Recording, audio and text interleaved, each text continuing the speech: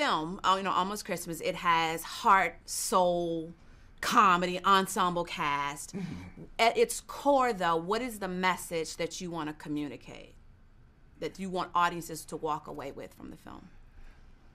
Well, I, I, I want audiences and and I, and I, can speak for I think I can speak for my sister here, mm-hmm. Monique, as well. We want audiences to see themselves and enjoy themselves and to love themselves and find find the celebration in themselves mm. in this moment.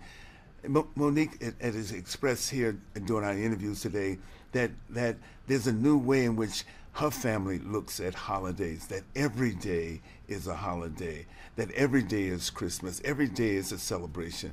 And I, and I just I want to I want to see that and feel that because there's there's really instructive parts of this this movie that sometimes you miss with all the laughter and all that. Mm-hmm. You miss all there. The, the kind of uh, the sibling, the, the finding the, the, healing between two sisters, you know, or finding uh, uh, your son making an ethical choice. I love that. He makes an ethical choice. And right there on principle and everything else. So he's a politician, and all, we know we, we all have the, the, the thinking about politician, but I think that's what we want to see, you know. And we want to carry the, the two. We had two scenes with the great Look here, I'm in saying you about somebody say great. We ain't nothing. The great Gladys Knight. Thank you. Yes. Great Gladys Knight with two scenes in there, you know. Yes. And, and, every time I was around there, by the time I get to you know, I remember what I'm saying, you know, but but that's that's that's what we want to think. Okay. Yes. yes. So Monique, you killed it. I mean, every single time you and JB hit the screen, the audiences last night went crazy. Can you tell me what scenes took longer to shoot, not because of production, but just because of the comedy and the shenanigans? All of it.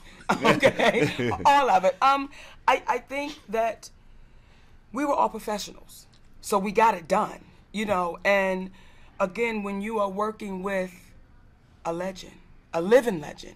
And that's what Mr. Glover is to us. When you are working with that living legend, you don't want to mess around because you want to respect what you're in front of. So, though we had a great time, we got it done because we wanted to make sure we reserved our legend. We didn't want to have him there all hours of the night. Let me tell you what he taught us was how to take a nap. Baby, let me tell you something. Mr. Glover taught us in cut and action. So we were learning so much from this man in every scene, even in his silence, he was showing us, listen, baby, this is how you have longevity. And his humility on that set, everybody was baby. He walked in, come here, baby, hey, baby, hey. From the director down to the brother cleaning up. So to be in that type of energy and that type of spirit, you couldn't go wrong.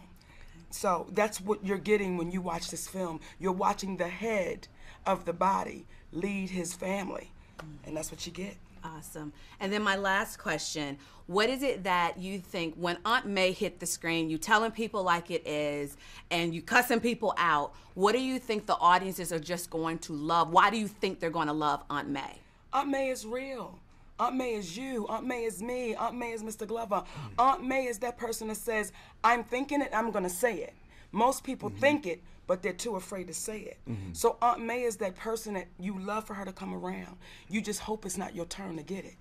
but you're grateful that you got it when everybody walk away and you be like, oh, she did tell me about that. Oh, so, you know, that's who she is. And she's that spicy word lady.